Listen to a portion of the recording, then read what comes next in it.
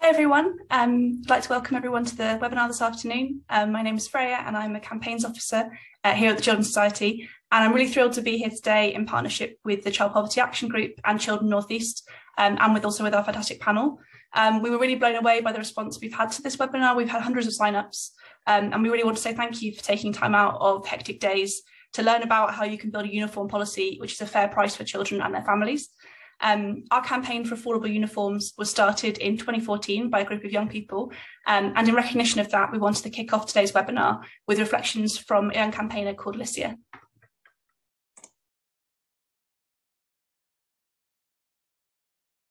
Felt like it was a relief that some that an organisation was actually about to do something or attempt to do something because it's an issue that has been around for years on end. And so many of my friends had had sim had experiences with school, school uniforms whether it be too expensive or it be too specific or suppliers being too far away that it was just inaccessible to get to. So finally having a big organization like the children's society listening meant that maybe something might get done and whether it maybe not be helpful for us but helpful for the next generation of kids that are going to go through similar struggles to us.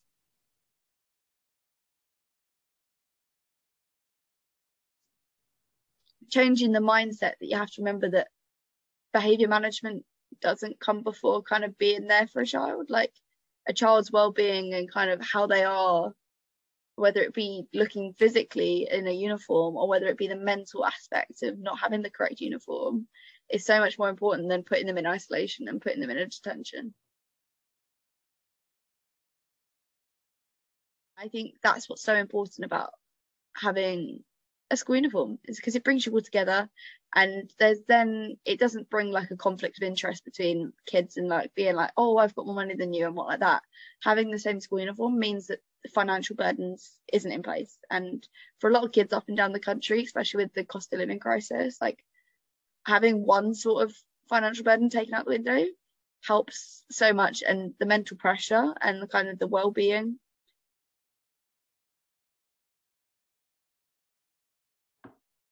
I believe that every school has the chance and the opportunity to change the uniform policy for the better and allow so many children to thrive in a place where it's safe and there is no pressure of how they look in a uniform like there is so much of a chance that you guys have and you guys should grab it while you can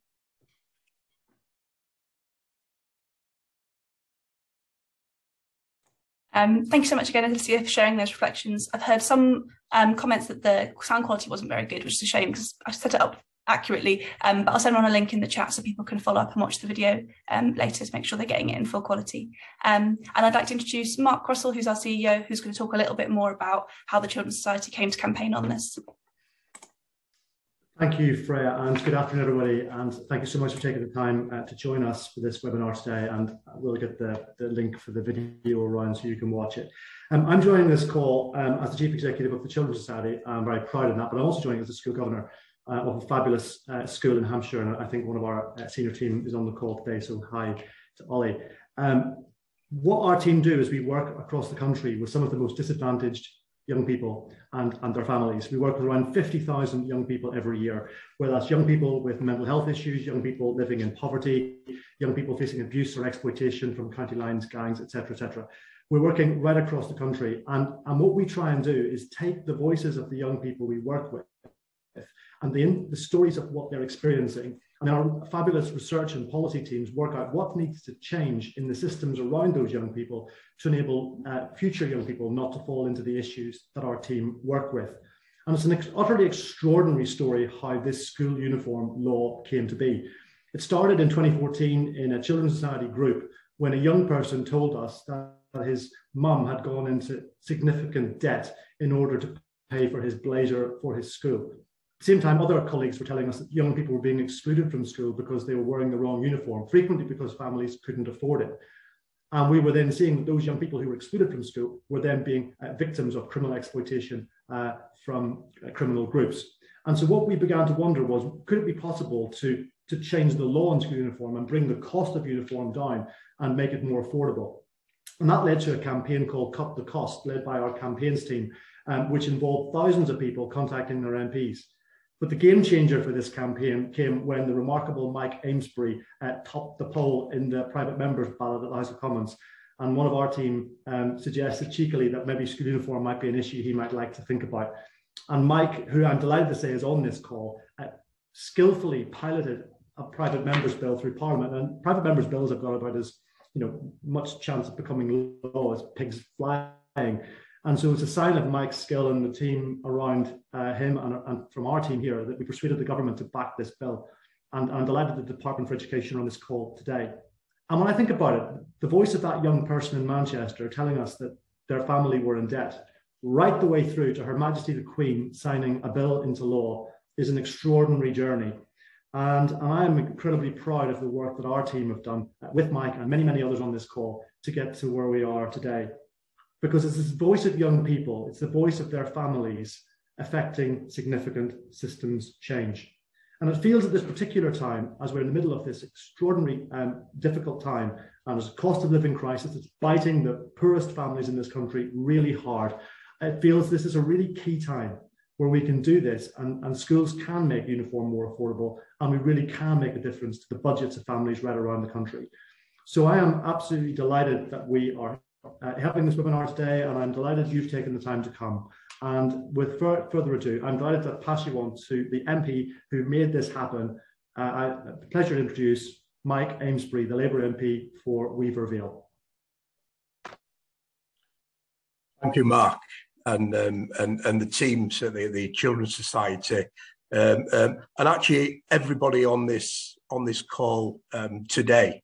Um, um, it's it's a pleasure to be here. I'm very very proud that I was able, with others, very very importantly, with others to to bring those voices. You know, the young lad in Manchester, and I speak as someone that was born in Manchester. It was a young lad in Manchester as well in that journey, but bring it alive in terms of Parliament through all those considerable hurdles over a, a two-year period when I uh, um, won the ballot, which is literally a lottery private members bill, and the higher up the pile you come, the, the better. So I'll come out, I'll come out number number one, and then I was um, I, I was bombarded in a very good and nice sense um, um, by campaign organisations, people with incredibly worthy causes um, um, up and down the land. Um, um, certainly, um, Mark and, and, and, and the whole team um, um, spoke spoke very loud and very importantly, the young people did about cutting the costs of school uniforms. And actually, um, is knocking on an open door. I know there'll be the head teachers, other stakeholders that working in the broader school family sector um, um, on on this call, and there's so many of you um, um, have been doing the right thing over a considerable uh, number of years by by children, parents, and carers. Um, but undoubtedly, there were others where school uniforms, in some cases, had become a measure to sometimes um, um, let, let, let, let's say discourage people from applying for um, certain schools. And actually, I've seen it in my own constituency where children and um, parents and carers have actually faced the indignity of their children not going to a school because they've had ill-fitting uniform or they couldn't replace something when they've grown, as children do, at a rather a rather fa fa uh, fast pace. Of course, um, schools should be about a ability to do and not ability to pay. Um, what I will state, and I've stated from the outset actually that school uniform, I'm pro school uniform. I think school uniforms are a great a great leveler. It's quite quite a popular slogan, isn't it? I think they, they, they really are. But what this bill does, it puts things centre stage and ensures that affordability, cost, cutting the costs, so it's inclusive, is that is that key key driver. Uh, got it through all those um, stages in terms of the um, parliamentary process. So from um, second reading along the way, I had a, a, a, a lot of a lot of help um, in terms of the Children's Society and other stakeholders as well, including some of our friends in the media, particularly the Mirror Group, um, who, who, who endorsed as part of their campaign. It was good to see the uh, head teachers and the teachers union united together on this on this issue, and and, and I, I, do thank them for their help. And actually, it also gave me the opportunity to say to um, uh, the Secretary of State at the time, Gavin Williamson, and indeed Nick Gibb, who you know I will give considerable credit to, by the way, who um, uh, works um, not not not only kind of front of house in the chamber, but um, behind the scenes, and certainly there's department officials on this call today who've been incredibly helpful. Um, I've never spent so much time as an opposition MP in the Conservative Whip's office. Um, um, but th that was necessary to get through um, second reading, committee stage, um, certainly uh, uh, third reading report stage, and in both houses. I must pay credit as well to uh, Baroness Lister, um, um, who who led the charge in the in the in the Lords as well. So so what what does the, the the the bill the bill do?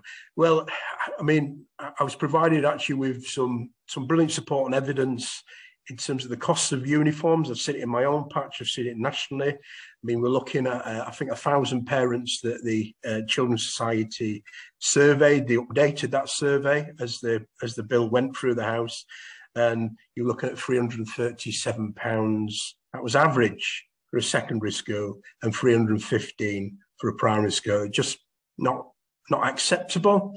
Um, um, it, it, it, actually seemed with the drive for academisation, it's a reality. It's it, it's it's it's with us.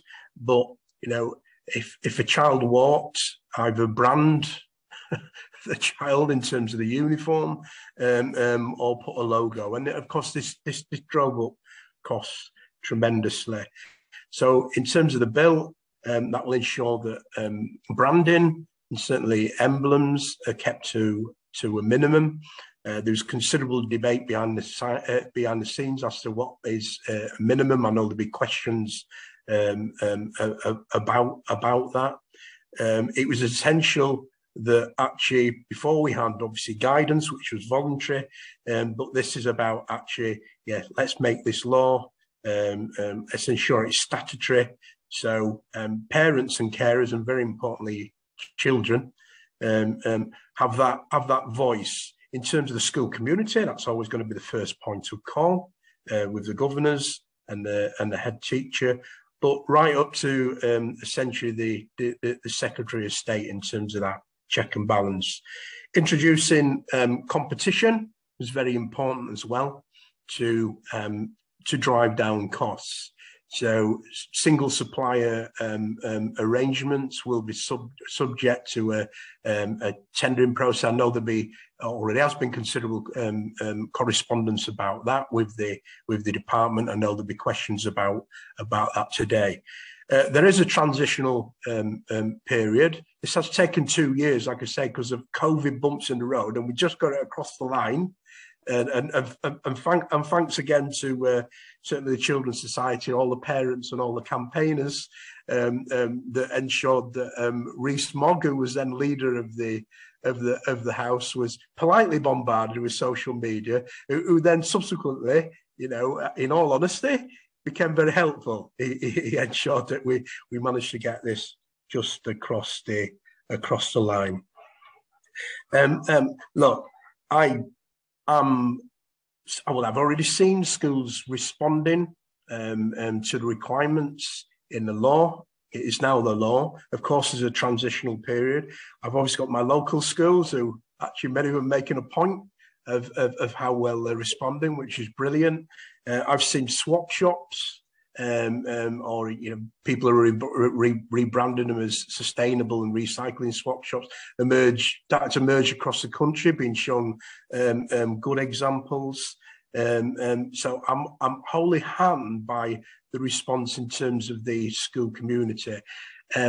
There's certainly, despite the fact that I know the DFE have put guidance out there to head teachers, principals, and and, and governors, um, we've still more work to do in terms of um, promoting requirements of the law and the and the time frame. Um, um, there are some schools I will be frank that I'm not playing ball and I will do my bit as a politician um, and with others. I will say this is cross-party. This, of course, now it became a, a, a government piece of, of, of, legislation to ensure that people are nudged in the right direction to do the right thing for children most in need. But lastly, thank you to everybody, it's the Children's Society, the children in particular who've been uh, superb. DFE, absolutely um, um, um, fantastic as well. I know at times it would have been uh, uh, frustrating, and I know that you've got to ensure that those provisions are now put in place. Thank you.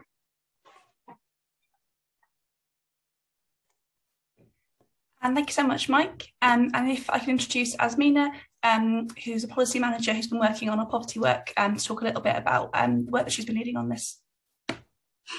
Brilliant. Thanks, Freya. And thanks so much, everyone, for joining us this afternoon.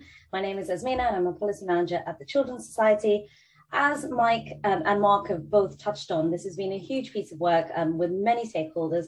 And as you heard from Mark, our work in this has really been rooted in what young people have told us. And our research in this has been rooted in what parents told us. So we undertook surveys in 2015, 2018, and again in 2020 to ask parents about how much money they were spending on school uniforms and the impact that it was having on their families. Um, Mike already touched on the costs themselves, but really the thing we kept hearing was that parents thought this was three times more than what they felt was reasonable to spend on uniform costs. And it was the impacts on their children that were, really worried us. For example, we heard that nearly a quarter of children had gone to school wearing ill fitting, unclean, or unsuitable uniform because their parents just couldn't afford the right uniform.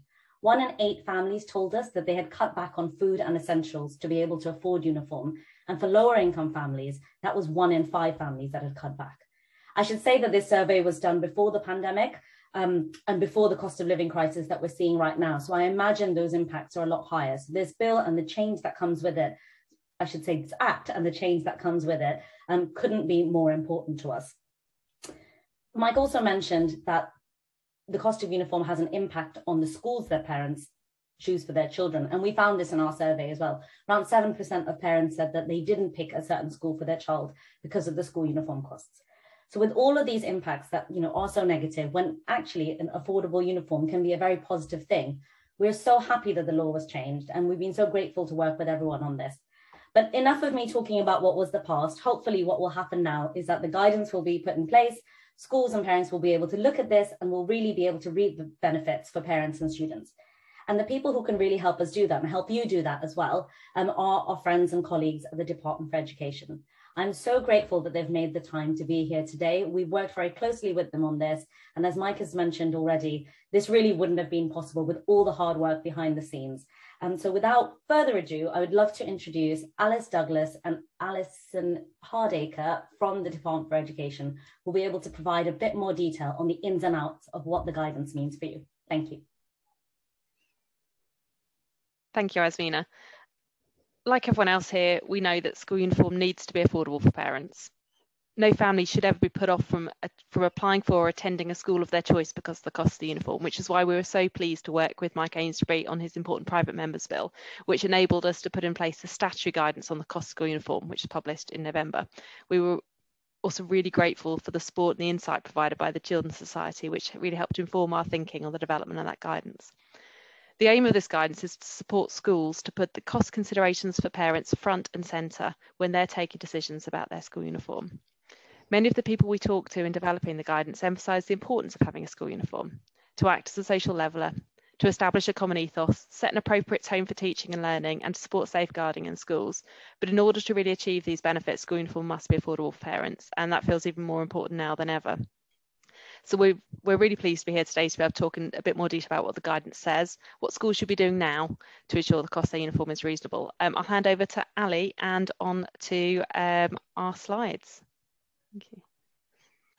Um, so our aim for the guidance was to ensure that the cost of school uniform is reasonable and secures best value for money for parents, whilst also enabling schools to sort of continue to make effective decisions in their local context, knowing the needs of their pupils and their local community. Um, so our aim with the guidance was to provide a clear framework within which we wanted schools to operate um, in order to try and make uniform more affordable for families of all backgrounds. Um, as Mike has said, the guidance is statutory which means that schools and governing boards must have regard to it when developing and implementing their school and trust uniform policies. And it covers a number of key areas and considerations. Um, I'm not going to go through all of them, but I've picked out some of the key points that I thought it was important to highlight today based on the activity that I think schools may currently be undertaking as they're reviewing their policy in the wake of the guidance being issued. Um, so firstly, in considering the cost of this, their uniform, um, schools will need to be thinking about the total cost of the school uniform, taking into account all items of uniform or clothing that parents will need to provide while their child is at the school. And we really want schools to think broadly here, so not just about the sort of everyday classroom wear, but also about their PE kit, about any other sort of subject requirements, as well as issues such as where parents may need to purchase multiple items or the impact where requirements change as a child moves through the school. Um, the guidance is also clear that schools should keep the use of branded items to a minimum and limit their cost their use to low cost or long lasting items. And this is important because generic items which are widely available give parents choice and allow them to control the cost of their uniform. And it's worth noting as well that branded items are defined in the guidance not just as items with a logo, but as any item with distinctive characteristics that make it unique to the school or trust. Um, so, for example, a jumper with particular colour trim, which therefore cannot be bought from a range of retailers. Um, Another important theme of the guidance is about the involvement of parents um, and ensuring that they are appropriately informed and engaged in the process. Um, so two key examples we've put on the slides here that are brought out in the guidance are that schools should engage with parents and pupils when they're developing their school uniform policy. And that's so important in helping schools understand parents and pupils' needs and concerns and being able to sort of consider those and build them in whilst they're developing their policy and supply arrangements so that they're fit for purpose for parents. Um, and also the guidance is clear that um, the school's uniform policy, once it's been developed, should be published on the school's website, be available for all parents, including parents of prospective pupils, and be easily understood. Um, and I think it's important um, to be really clear in a policy about um, about the requirements. It gives greater control to parents um, so they can understand which items are compulsory or optional, for example, and whether they need to buy things. And also, you know, issues such as if certain items are only needed at a particular time of year, that means parents can sort of spread the cost of their uniform, can buy items only when they're needed so that parent uh, so that their children don't grow out of them. Um, if we move on to the next slide, Freya. Thank you. Um, so importantly, as, been, as has been mentioned, schools also need to give careful consideration to cost in their uniform supply arrangements. Um, so as branded items should be kept to a minimum, most items should be able to be bought from, from a wide range of stores. Um, and we're also requiring schools to ensure that second-hand uniforms are available for parents to acquire. Schools don't have to set up something bespoke there if they're already effective, accessible local schemes. Um, but it's sort of it's parents. Actually, some schools have told us that this has been a really positive move with their pupils, with their student body, um, not just for cost reasons, but also with for the importance of sort of sustainability factors as well. Um, and once again, just being really clear to parents the information on on what's available in terms of second-hand uniform and how they can access it. Um, but obviously we do appreciate that for branded items, some schools may need a specific supplier. And so schools should ensure that their supplier arrangements give the highest priority to cost and value for money for parents, which might also involve taking account of factors such as the quality and durability of garments. Um, and again, it's important to have a really good understanding of parents' views and needs in order to inform that. Um, we specify that single supplier contracts should be avoided unless these are regularly competitively tendered, where more, more than one supplier can compete for the contract and where the best value for money is secured, and that those contracts should be retendered regularly, so at least every five years. Um, again, the value of the contract will inform the type of procurement procedure needed for this. A low value contract might require just seeking three quotes um, from local suppliers, or a high value contract might require a sort of full tendering exercise. Um, so that's a, a, quick whistle stop tour of some of the key features of the guidance. I haven't covered everything, so I do encourage you to take a look at the guidance itself to see the sort of background detail to this and some of the other elements that are, that are covered in that. Um, but for now, I'll hand back to Alice to say a few words about what schools should be doing right now to take this forward. Thank you. Thank you. And could we move on to the next slide, please, Freya? Thank you. So the guidance sets out clear timelines for schools to put this into practice. No school is required to make a sudden drastic change to the uniform. I think because we're concerned this could actually have the potential to increase the financial burden on parents, especially if they've just bought a whole load of uniform. But we do need schools to recognise the impact of uniform costs on parents, particularly in the current context, and to take action now. Therefore, by this September, schools should be compliant with much of the guidance. That means before parents are, are starting to acquire items this summer, schools should have reviewed their uniform policy to see if any changes are required, and that should include talking to parents and pupils. They should have made any necessary change to the uniform policy, such as removing an unnecessary branded item. Of course, in doing so, it's important that this doesn't breach a pre-existing agreement with their supplier, particularly if that supplier may already have bought the stock. Schools should have published the uniform policy on the website and ensured it's easily understood, and schools should have made secondhand uniform available for parents to acquire. So those are all things happening starting to happen now for this summer. Where a school needs to run a competitive process to set a new set up a new contract to support, secure a supplier for elements of the uniform, for example, if they didn't have a contract or an agreement in place, they will need to ensure they have a clear plan to make this to meet this requirement as soon as possible.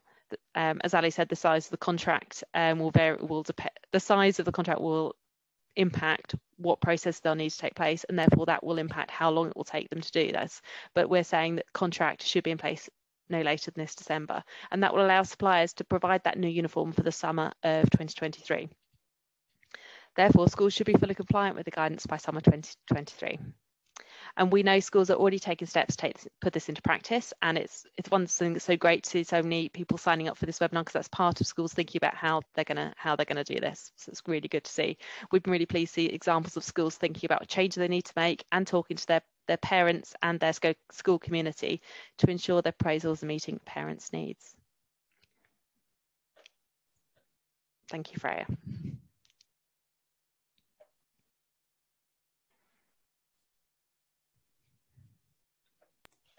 And thank you very much to you both um, for presenting that in such a clear fashion. And I'm sure there's going to be lots of questions for you. So looking forward to the Q&A and hopefully we'll answer a few more of those questions. Um, we've also produced um, like a little handy one pager, which I think my colleague Jake just put in the chat. So that's useful for anyone to kind of share around with colleagues, share around the school if they just want to give people a bit of an introduction to what that means. Um, thank you so much, Alice and Alison. Um, and I'll just um, hand over to um, my colleagues, uh, Georgina and Francesca, who've been working really closely at uh, CPAG and at Children Northeast.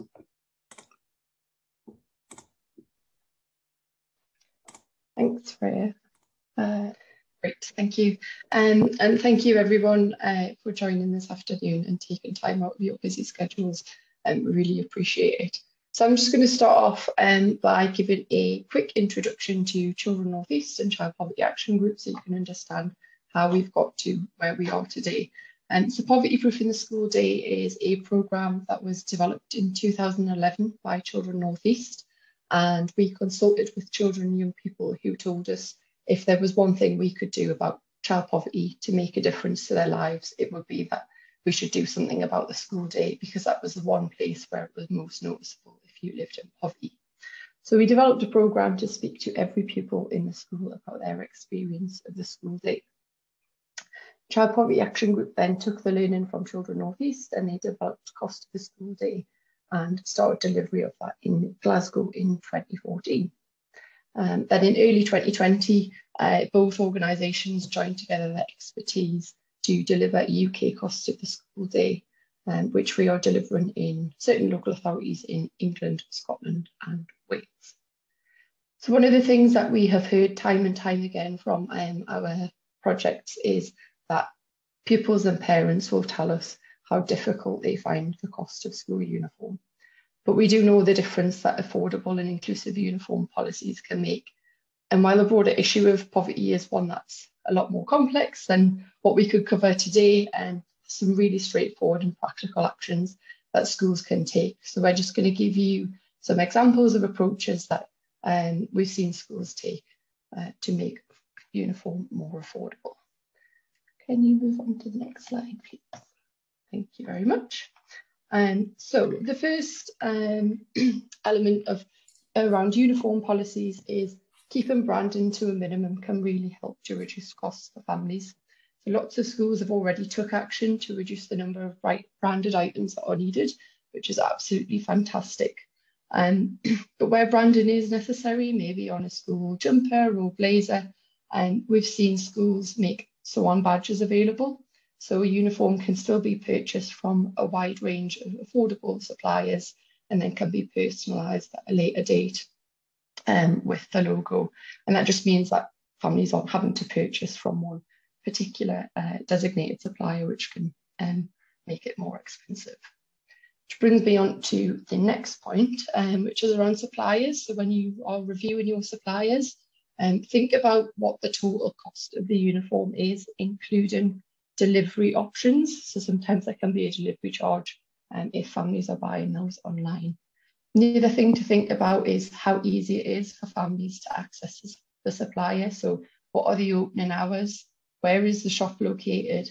And are there public transport links for families who don't have access to a car?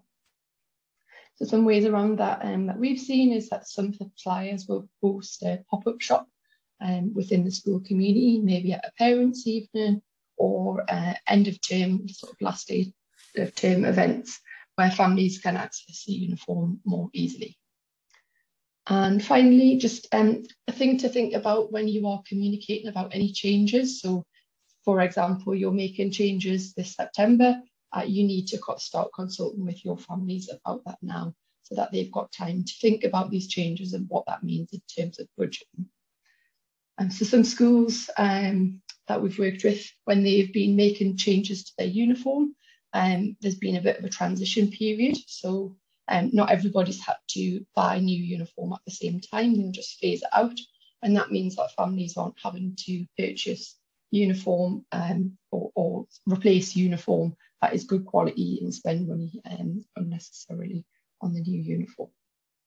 And the final point around communicating this is um, we found that it find works best when families are communicated with in a range of different ways. So one communication method might work for one family, but it might not necessarily work for another family. And so that's just something to bear in mind as well. So if you can move on to the next slide, please, Freya, and I'll hand over to Georgina. Thank you. So we've already heard that making sure that um, second-hand, or as we would call it, pre-loved uniform provision is a, a part of the statutory guidance now and some practical ways we've seen schools do this. So I think the first thing is to consider how you can make it consistently available to pupils and families. We see schools do really great things at parents' evening and school fairs where pre-love provision is made available, but actually children go at different rates and might require new uniform at different points in the school year. So we've seen some schools that have set up a rail or a drop box um, in reception areas of the school or spaces frequently accessed by students and parents where they can not only leave uniform that they no longer need, but can take any uniform that they might require as well.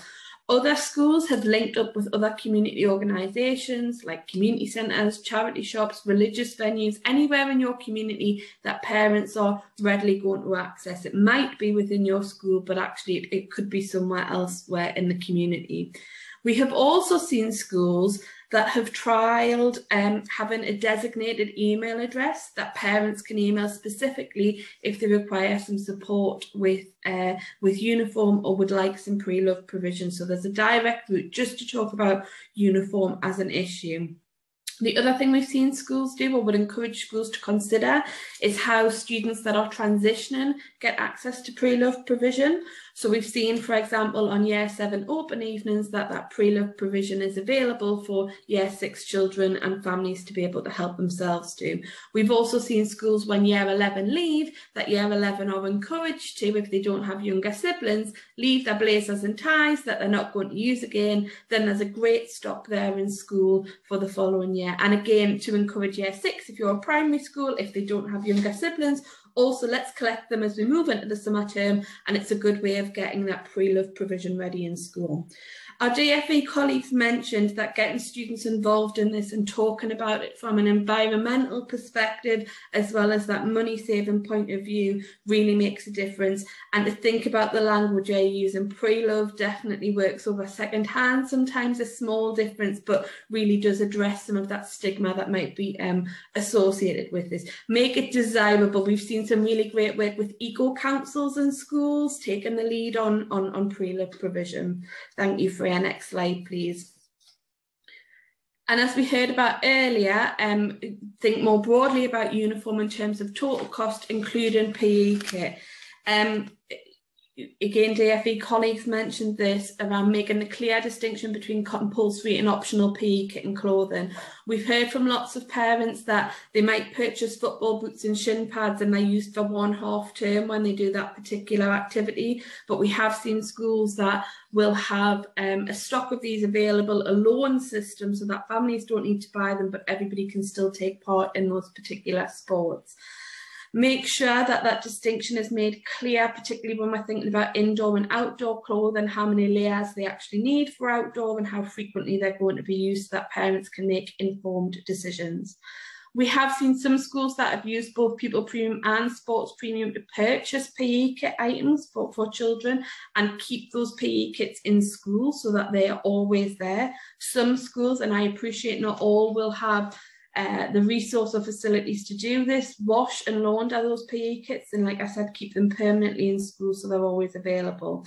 Um, we work with one school that gave all families a PE kit um, when the um, when their parents returned the pupil premium eligibility form. So actually that PE kit didn't cost the school any money because they had uh, their full pupil premium entitlement and everybody had the PE kit that they needed. So it was a, a, an, an all-round positive situation for both the school and for families. And lastly, just if you are um, sort of making spare kit available as it should be so that nobody's missing out on practical lessons, consider how it's how it's presented. We've seen some really great practice again with well stocked and well presented rails of uh, PE kit in appropriate size and rather than just the random things that have sort of been left over from students to lessen that stigma. The other thing is if a student is frequently without either uniform or PE kit, is that being used to have a broader conversation with families about any support that they might need at the moment? Is there monitoring of that taking place to make sure that if it is on, a regular basis, that um, th that it's used as a discussion point with families. And lastly, Freya, if you want to go to just the last slide, and I'll just wrap up before I hand back to Francesca. I guess what we'd like to say from both uh, uh, poverty proofing and cost of the school day is that it's really great what's been done with uniform. Uniform is um, one school cost families are facing uh, among lots more as well. So we'd encourage you as part of an exploration of, of uniform and, and cost families are facing to also look at the, the overall cost of the school day, I guess, and what we're asking families for. So I will hand back to Freya to, uh, to make introductions to our next speaker. Uh, sorry, Francesca. Um, thanks, Georgina. Um, so uh, yeah, if you if you do want to get in touch with us, um, I think there will be some contact details shared um, on the slides that are sent around afterwards as well. And um, we'd love to hear from anyone who's uh, doing taking different approaches um, to supporting families with uniform costs at their school. Um, but I'm now going to hand over to Keith Rondeau, who is a head teacher at St Mark's Primary School in Dudley. Uh, Children North East of Ypres St Mark's back in 2019. Um, and one of the areas that the school had some great practice around was their uniform. So I'm going to hand over to Keith, who's going to talk a little bit more about what they're doing to support families with uniform costs. Thank you. Um, and first and foremost, my sincerest, my sincerest thanks for having me here today. And it's great to hear so many colleagues committed to, to supporting families and children. Um, yeah, as you heard, I'm, I'm head teacher of St Mark's uh, in Pensnett, Dudley. Uh, we currently have about 45% of children uh, in receipts of the pupil premium here, uh, but we have over 50% of the community that we serve who are identified as living in poverty. Um, before I start talking about uniform, I really want to echo Georgina's final point, which is that it's important to uh, understand that a school stance on uniform should be part of a much wider and coherent approach, which is poverty informed. And by having an open dialogue about poverty, disadvantage, and money, families feel that they can access the support, including uniform, in a way that maintains dignity and respect. But in terms of uniform, um, here at St Mark, something that, that we, we uh, do really is we have absolutely zero expectation that children wear a uniform with a school badge on it. Uh, in fact, I positively encourage families to buy a uniform without the school badge on it. Um, and there are absolutely zero consequences for children if they are wearing something that isn't strictly school uniform. We want children in schools feeling valued and safe and ready to learn. And actually, if it is an ongoing problem, we understand as a school that it might be a symptom of a bigger problem. So sensitively and thoughtfully, we will approach the family and check that everything is okay. Um, we've also provided a £15 voucher uh, to, to all children for families to spend on uniform. And that was a one-off. We, we had made a saving uh, due to the first lockdown, but we thought that the money should be spent on the children and uniform was, was a, a key thing that we wanted to address. But the main thing that really su supports parents is the pre-loved uniform that, that is free for everybody to access every single day throughout the whole year. Um, we, we have some lovely IKEA Kallax units in the main reception area where we have shirts and jumpers and trousers, dresses, PE kit, etc., etc. They're all stored there. And these have been washed and ironed with staff, and we really make the effort for it to look neat and tidy and presentable. Um, and, and, as I say, um, parents and families can access these at any time of the day. You know, they don't need to, to ask for permission. They just walk in through the main doors and it's there. They just come in and take what they want when they need it. And we also have a, a large laundry basket in the reception area as well. Um, so parents can make donations and these get taken home by staff, as I said earlier on, and they're washed and they're ironed and we make sure that the boxes are replenished. I think it's important to say that parents collect the uniform for a variety of reasons. There's always that child who somehow manages to lose three jumpers in the space of one week and they just need something to tie them over until payday. Or some children just have a growth spurt out of nowhere and need a jumper to get them through winter or, or a PE kit to get them through the last two weeks of, of the academic year. But it's important to say it's as and when it is needed for whatever purpose, but it's there for families to, to access. I think one thing that we will be doing next term, which we haven't done yet, is we know that some of our parents will not even step inside the school to, to access that provision. Such are their own experiences of education and establishments and people of authority. So we're planning to invest in um, some clothes rails and hangers and have the clothes set outside at home time on specific days when the weather's good. And we hope that by mimicking the presentation of a shop and having it outside, it will mean that absolutely everybody feel comfortable and can access the provision. Um, and then I think for me to, to finish off on really is to say that I think that you know that the change in the guidance is hugely important and positive. You know, education is a right, and uniform should not be an obstacle to that. Um, Luke Bramhall from Children North East talked about being an easy to reach school. And I think the approach to uniform is, is absolutely central to that. And that's me. Thank you very much for your time.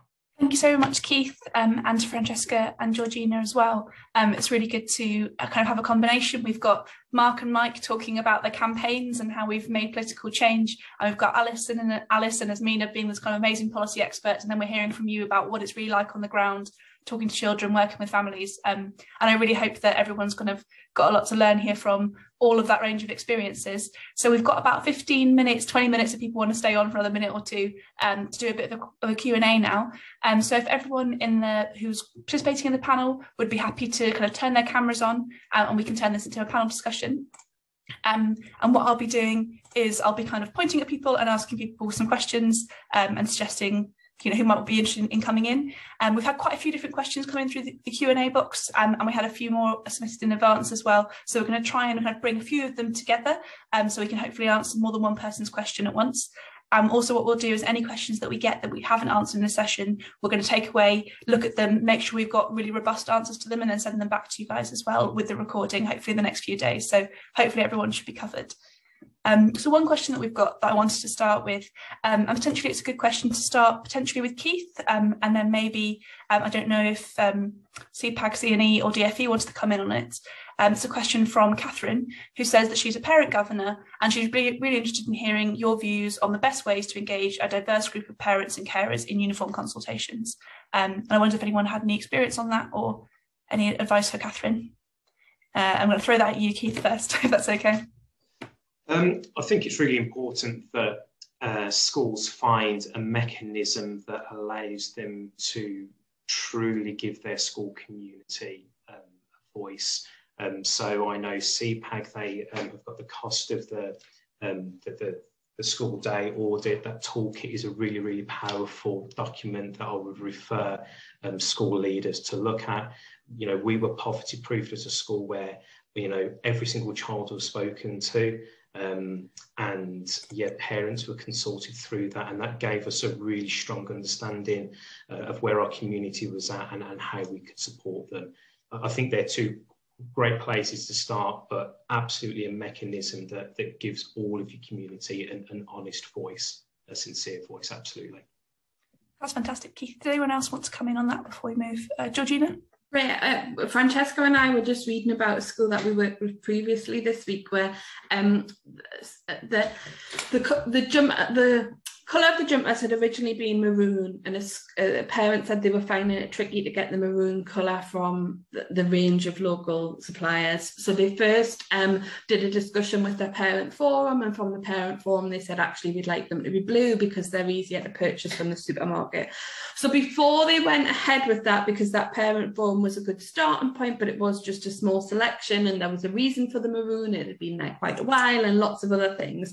At parents' evening, they literally had a box with two um, for you know for people to put coins in whether they wanted maroon or blue. So everybody that attended parents evening had an opportunity to say whether or not they wanted to stick with the maroon which had been part of the school historically or if they preferred the blue. Now i know that's really straightforward because that's just about color and actually we're talking about much more complex things here, but I think it's about providing opportunities for everybody to be heard around consultation and also um, that might mean using lots of different methods. So you might use parent forums, but you might also want a text message survey just to make sure that yeah, any barriers that families might face in engaging with a consultation, that there are a range of different ways that they can have an opportunity to give some feedback. Uh, thank you so much for that, Georgina and Keith. Um, I've got a similar question, which I wonder if you'd be happy to answer, Alicia, which is about, do you think there's any good ways that schools can be talking to young people about school uniform? I know that you and me, we've talked a bit before about sometimes just the context of school uniform chats are already stressful before they even start.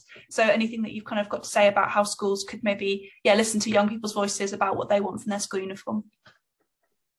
Yeah, so I mean, something that happened when I was in my sixth form was they were changing the like secondary school uniform, and something that was really important was in like the form time and stuff like that. Rather than having like a big assembly being like, "Oh, we're thinking of changing the policy," they actually sat down like senior members of the team, so senior leadership, were going into forms and saying, "Right, we've got propositions. Which of these propositions are you completely nope, you don't like?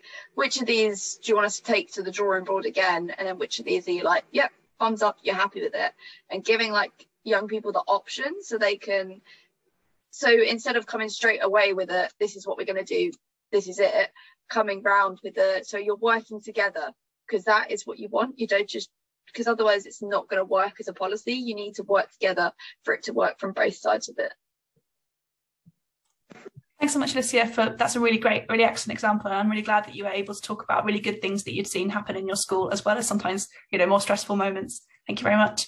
Um, the next question is kind of a bit of an amalgamation. We've had quite a lot of questions on this theme, um, and I'm going to aim this one at DFE if that's okay, which is we're having quite a lot of people say, you know, I'm still seeing my child's school has a really expensive uniform, or I've asked them if they're changing, they said they're not changing, but they, I, don't, I don't feel like they're doing enough, and they're just kind of wondering, you know, what is the level of um, kind of obligation or legality you know where can schools be challenged or how can they have a really constructive conversation with schools if parents and community groups like uh, clothing banks still think that schools maybe aren't quite going far enough and aren't being quite as fair as they could be um, yeah dfe if you'd be happy to answer that that'd be great Yes, very happy to answer that. So I suppose the first thing I'd say is that we're still in the transition implementation phase. So uh, schools should be taking steps to comply, but they're not. They they won't all be at the stage where they're fully compliant yet but this is this guidance is, is statutory. Schools do need to comply with it unless they have a very good reason not to. And it is you know it does have that statutory basis. If parents are worried about whether their school is planning on complying or is compliant first thing just talk to the school. Just um the hopefully the first conversa conversations can be easily resolved by just sort of pointing them in the direction of guidance and saying you know what what are your plans to deal with this? If after all if that after that parents have concerns and there is all schools do have a formal complaint process that can that the parent can follow. And if and ultimately if having gone through that process the parent is concerned or someone else is concerned that the school um, isn't able to meet isn't meeting its obligations then there's the opportunity to complain to the DFE but we very much hope these situations can be resolved at a at a at a kind of a, a, a local and encouraging level I think by pointing the school in the right direction. Thank you very much. Um, Alice, for that reflection. I think that's important to urge that though we really want this to be a really positive change and we're hoping it's going to happen, there will be some adjustment time before we can really see that kind of full realization happen.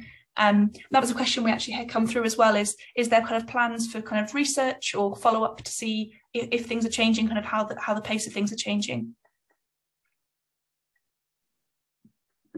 Um, that's something we'll be considering for the future, but at the moment, the focus at the moment is um, encouraging schools to make the changes they need um, for, for parents in the next year.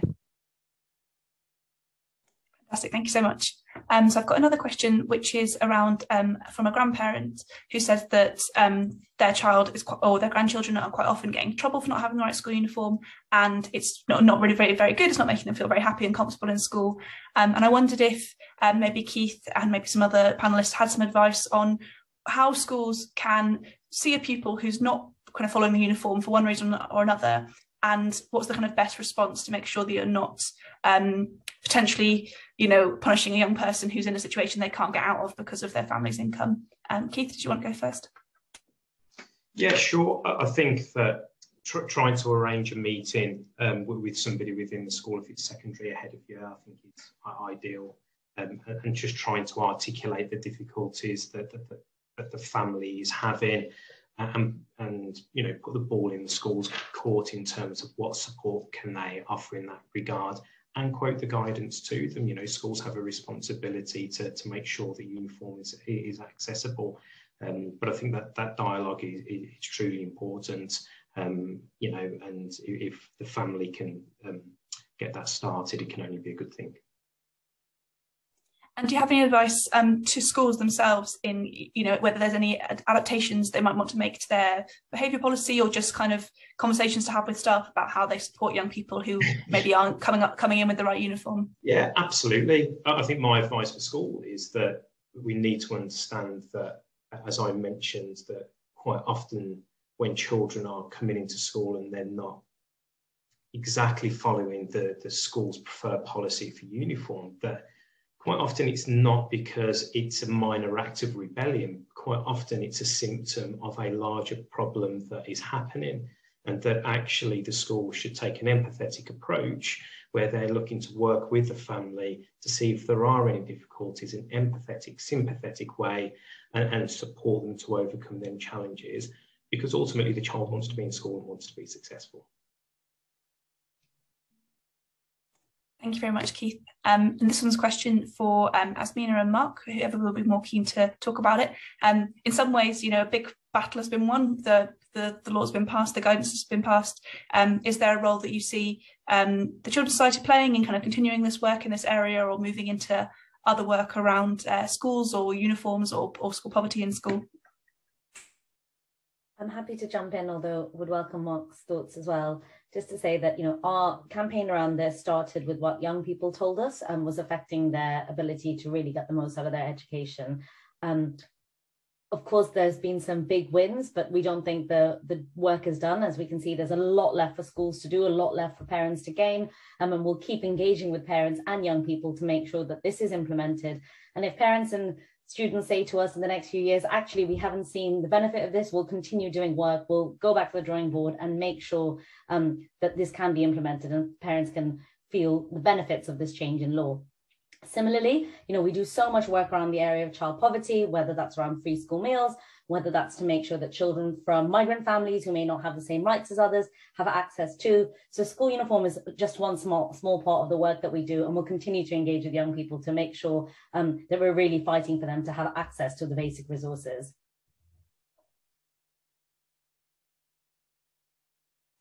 Thank you so much, Azmina. So I'm going to go with one final question, um, if that's okay um, which is that we had a shout out from the Leeds um, kind of community um, school uniform exchange, and they were talking about the kind of great work that they were seeing in terms of the council supporting local community groups to work with schools and provide a kind of um, pre-used, uh, pre-loved uniform service. Um, and I was just wondering um, if anyone had any thoughts on that. Um, around um, yeah kind of supporting community groups to engage but i do have just been informed that i cut over mark and that's because there is a little little pop-up box that's currently covering up mark's face on my screen i didn't realize he was, was looking to speak mark do you want to come in first sorry about that no, I was saying I didn't want to come in. I think um, Azmina's answer was absolutely spot on. But what the Children's Society will continue to work with our friends in government and and to bring the issues that young people are telling us from our frontline work to try and fight for further change to help families who are facing a really tough time right now. But I think what you just shared from what's happening in Leeds sounds absolutely fantastic. And it's just the kind of example that we're hoping to see more of around the country, which will provide families with the help and the support that they need. Thank you very much, Mark. And again, sorry for speaking in front of you. I've got a lot of pop-up boxes currently floating around my screen. Um, quickly, maybe, um, CPAG's CNE, I know that you were talking about a couple of different local authorities that you've done some really good partnerships with. I didn't know if you wanted to maybe give a shout out to them as examples of best practice in terms of communities working together with schools and with councils. Um, and maybe DFE could consider whether that's an area of work kind of to look at is the role that councils are playing already in this.